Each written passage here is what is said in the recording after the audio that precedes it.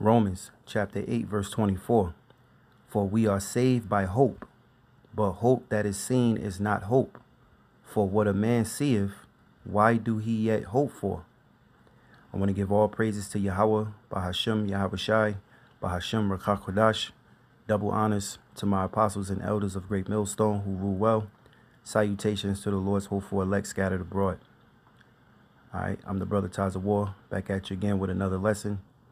And this one's going to be uh, here in the book of Romans, chapter 8, and uh, starting at the verse 24. It says, uh, For we are saved by hope, but hope that is seen is not hope. For what a man seeth, why doeth he yet hope for? Now, it says, let me read 25. But if we hope for that we see not, then do we with patience wait for it. So our kingdom, you know, that's coming with this, let's say Yahawashi, is all dealing with hope, all right? Faith, believing, you know, those three key words. Believing, let's say faith, believing, hope. Faith, believing, hope. All right, because at the end of the day, this is what we believe. All right. And we have, you know, strong faith that the word of the Lord is true. You know, you can clearly see that the things, the prophecies which are written in the scriptures are coming to pass. So that makes, all right, the word of the Lord true. So it says, for we are saved by hope. All right. If you don't hope, then you don't have uh, confidence, you don't have courage when there's no hope. All right. Matter of fact, let me uh, just see what the dictionary say for hope. It says, if you hope that something is true, or if you hope for something, you want it to be true or to happen, and you usually believe that it is possible or likely. All right. And that's just a quick definition of hope. All right. Hope to get a job, right? When you hope for something, this means you want it to be true. Let's read that again. If you hope that something is true, or if you hope for something, you want it to be true or to happen. And you usually believe that it is possible or likely. All right. And we believe strongly, all right, in the word of the Lord. All right because the Most High, Yahawah, Bahashem Yahawashi, all right, in the name of the Son, Yahawashi, who the world ignorantly called Jesus Christ, all right, he has given his hopeful elect faith, all right. It says, uh, but hope that is seen is not hope, because if you see something, you know, why would you hope when you can actually see it? But when you don't see something, you hope. It says, For what a man seeth, why doeth he yet hope for? But if we hope for that we see not, then do we with patience wait for it. Now, let me uh, come here to Hebrews 11 and verse 1. It says, Now faith is the substance of things hoped for, the evidence of things not seen. For by it the elders obtain a good report. Through faith, we understand that the worlds were framed by the word of the Most High, so that things which are seen were not made of things which do appear. Okay, this is hope, this is faith, this is believing. Okay, now faith is the substance of things hoped for, the evidence of things not seen. So it's evidence when the Lord have given you that special gift of faith, which which I'm gonna go to. Let's get that real quick. Ephesians 2 and 8. When the Lord has given you this special gift of faith, you obtain the mercy of hope. It says, For by grace are ye saved through faith, and that not of yourselves, it is the gift of the Most High. All right, so faith is a gift. Okay, faith gives you hope. Okay.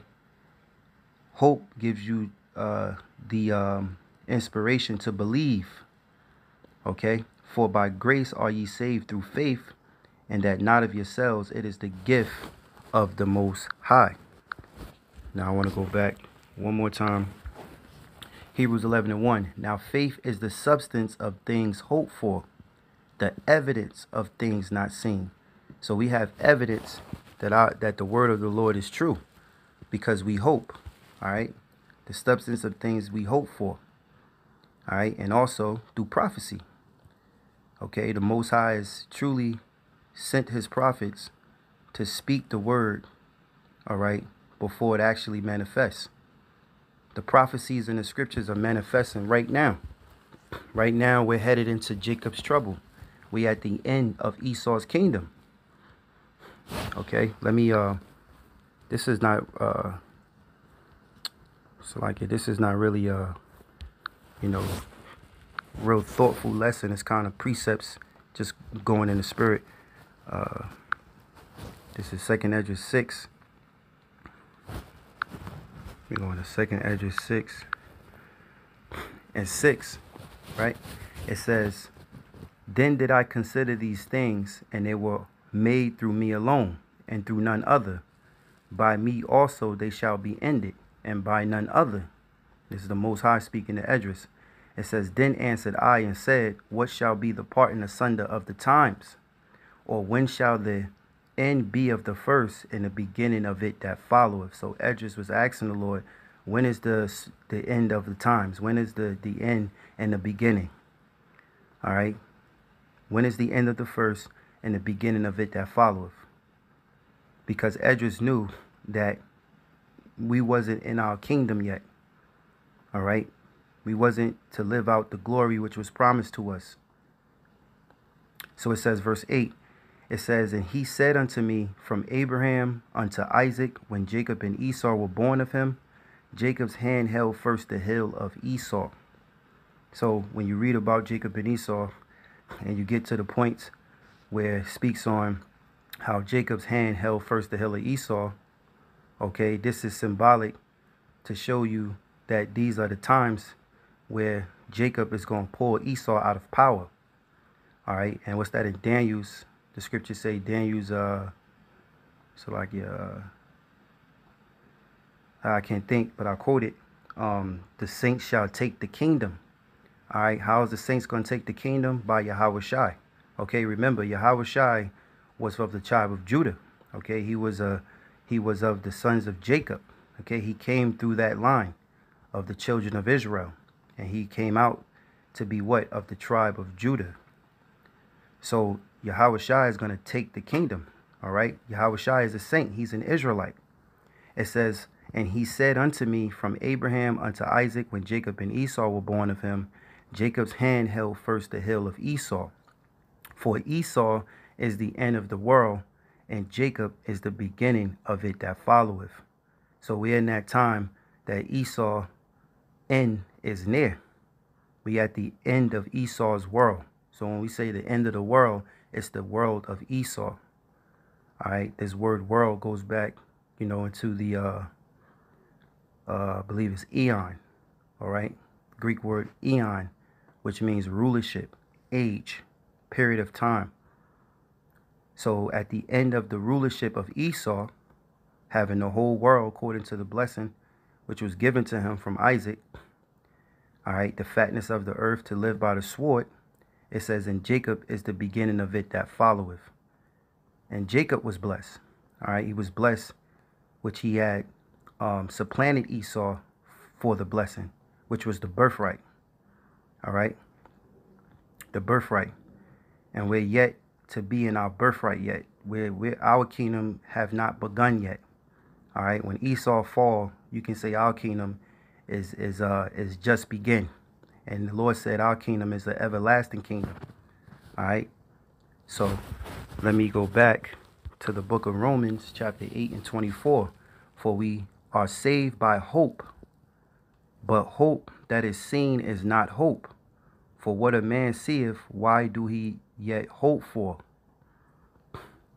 But if we hope for that we see not, then do we with patience wait for it.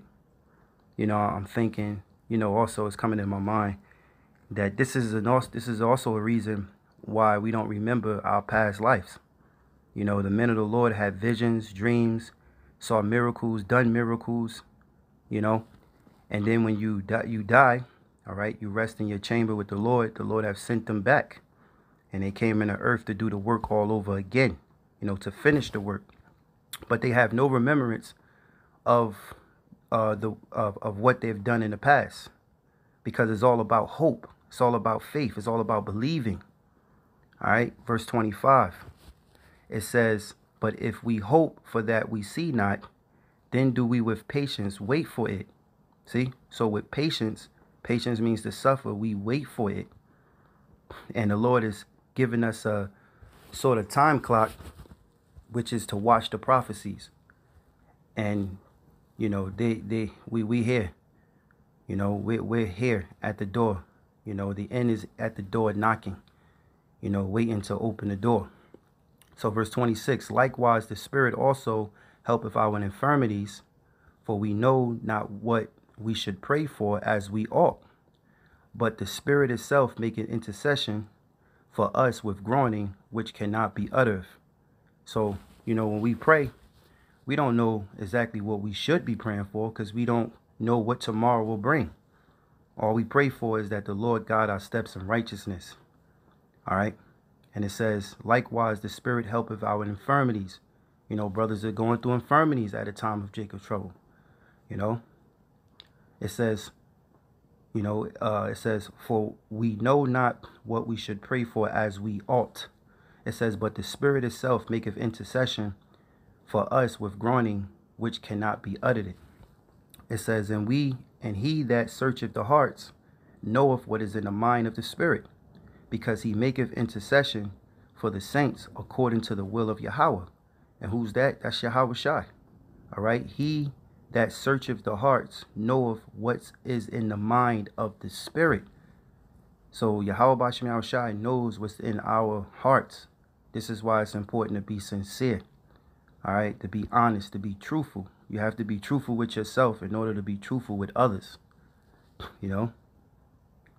It says, verse 28 and we know that all things work together for good to them that love Yahawah, to them who are called according to his purpose.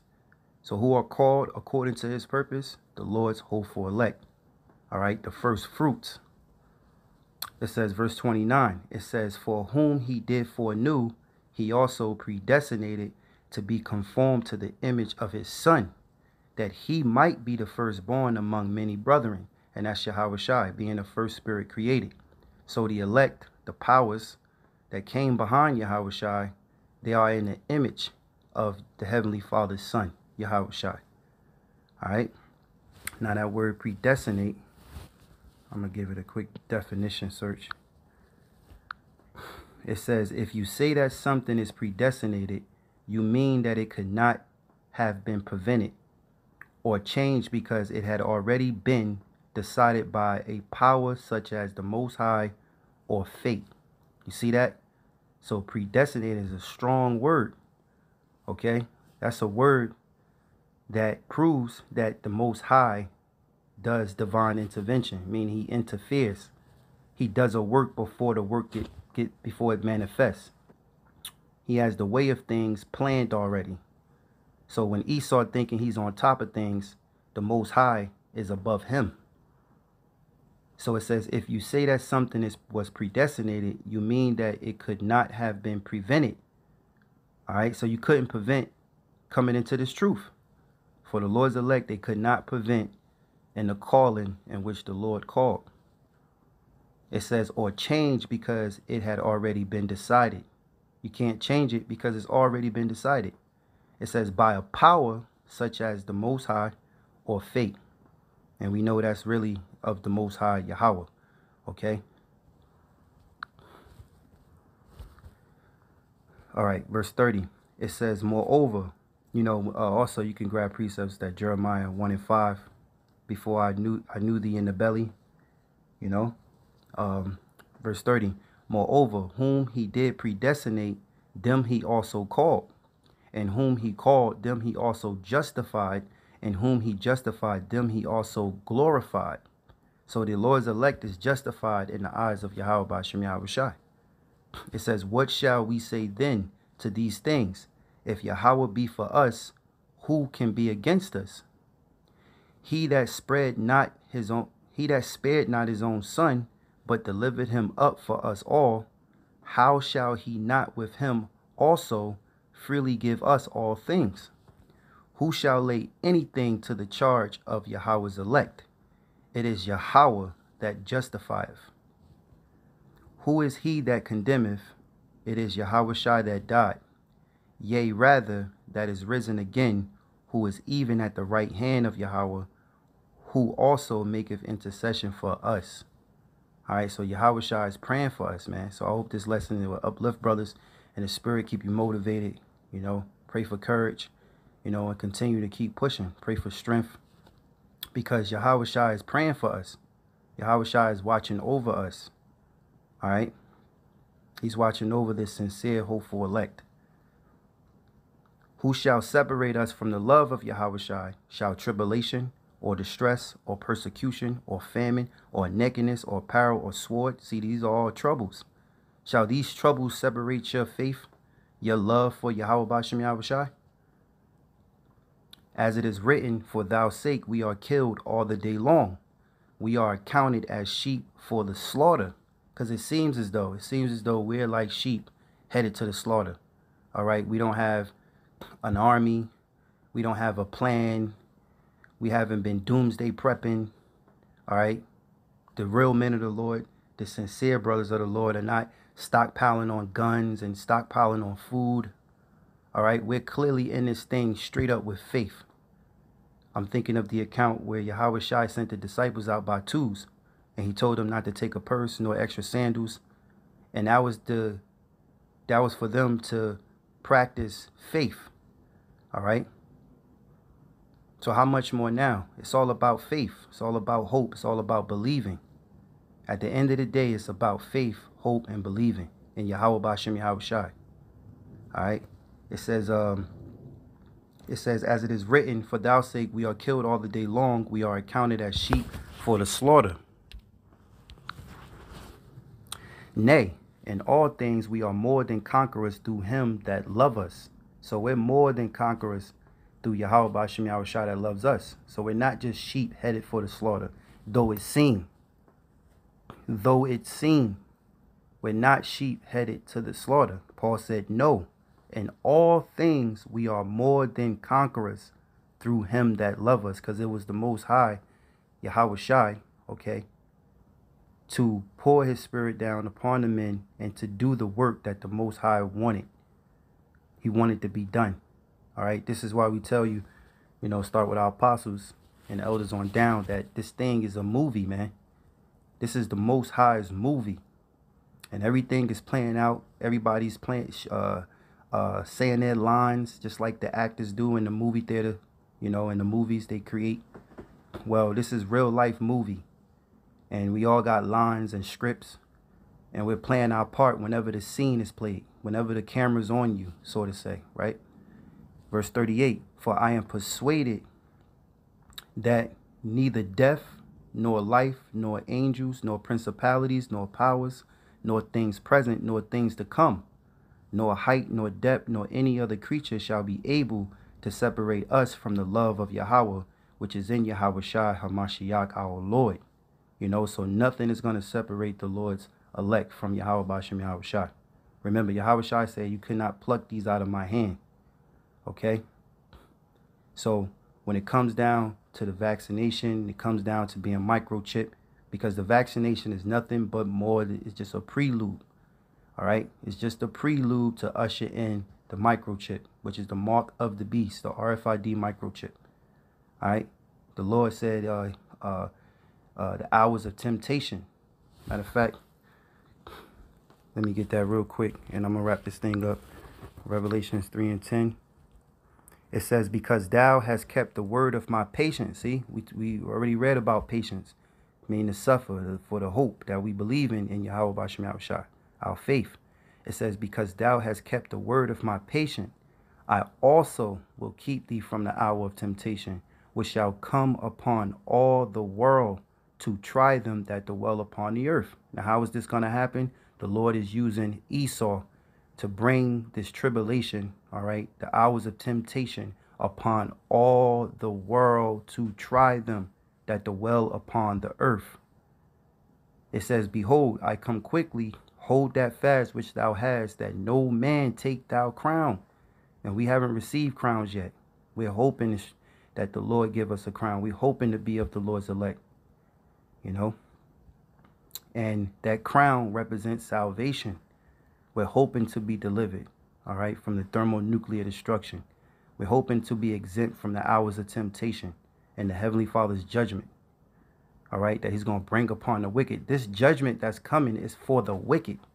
So if you honestly, you know, sincere, you in the truth, you believe in Yahawah Yahweh Shai, you're giving it all you got, all right, then you don't have to worry, man. You have to worry. Okay?